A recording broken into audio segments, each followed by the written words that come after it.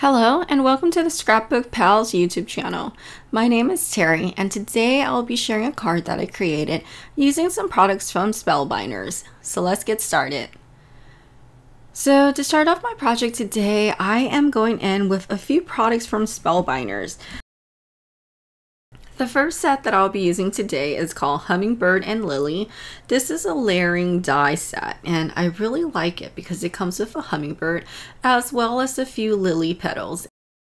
So along with this die set, I will be going in with a stencil. This one's also from Spellbinders and this one is called Hummingbird Textures. And I really like this because there's three different options that you can use. And also, of course, for the sentiment, I'm going in with a stamp set here. All of the products that I've used today in this video will be linked down below if you're interested in taking a look. Okay, so to start off my card, I am pulling out all of the dies that I will be using. So like I mentioned earlier, I will be only using the hummingbird die today, as well as the cloud die. And I love that it came with a cloud die because that's just a basic die that you need in your stash. And I love the shape on this one. Okay, so I pulled everything out and I'll be die cutting this out of white cardstock. I went ahead and die cut everything off screen and now I'm going in with a blending brush and a pink shade of ink. This one is from Catherine Pooler Designs. This one is in the color Pink Champagne and I'm just lightly brushing the ink onto the die cut pieces. What I want to do here as I'm ink blending is I want to create a lot of color on one side of the die cut. So this creates a bit of a shadow and then just taking a lighter hand towards the end of the feather or the pieces of the bird, the hummingbird. After blending the ink onto the die cut pieces, now it's time to assemble the hummingbird together.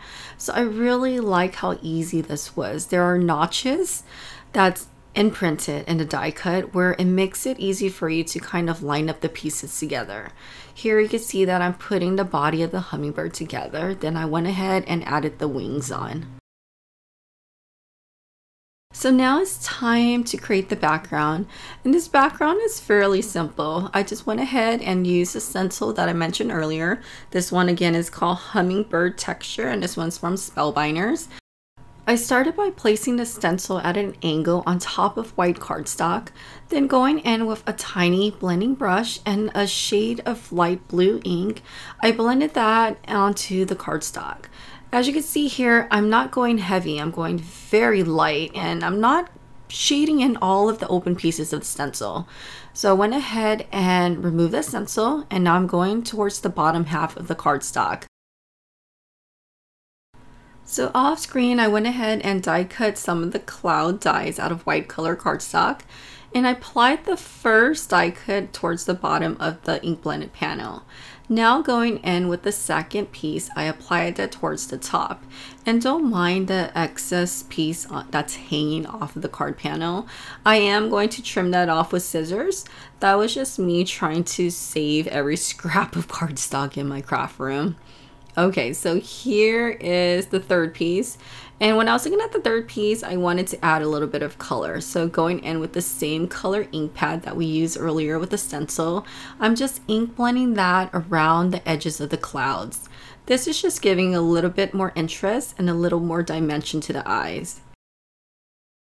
And for some extra interest, I went in with some gold paint and splattered that onto the card panel.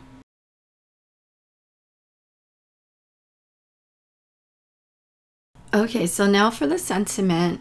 There are so many cute sentiments in the stamp set. I decided to go with the one that says, sending healthy vibes your way. And I stamped that down onto the card panel with clear ink and I'm using Versamark ink. And then I'm going in with some embossing powder.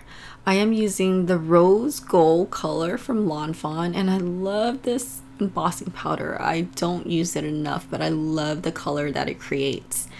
Okay, and the finished card, I just added a few embellishments, some gold baubles, and I adhered that onto the card panel as well as use a white gel pen to add highlights and details throughout.